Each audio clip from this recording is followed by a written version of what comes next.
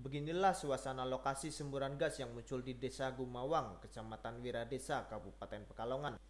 Semburan gas muncul saat pemilik rumah yakni Abdul Holik, warga Kelurahan Gumawang, Kecamatan Wiradesa, Kabupaten Pekalongan, tengah melakukan pengeboran sumur. Di kedalaman sekitar 15 meter, terdengar suara gemuruh. Untuk menghindari hal-hal yang tidak diinginkan, oleh Abdul Holik, semburan gas tersebut disalurkan keluar rumah dengan menggunakan pipa dan selang.